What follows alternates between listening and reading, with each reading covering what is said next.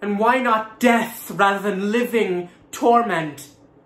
To die is to be banished from myself, and Silvia is myself.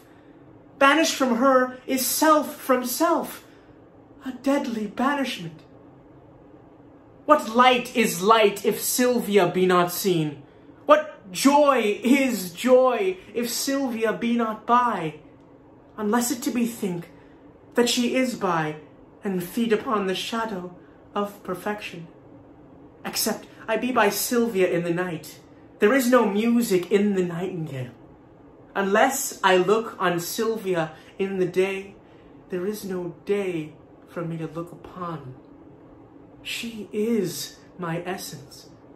And I leave to be if I be not by her fair influence, fostered, illumined, cherished, kept alive. I fly not death to fly his deadly doom. Tarry I here, I but attend on death. But fly I hence. I fly away from life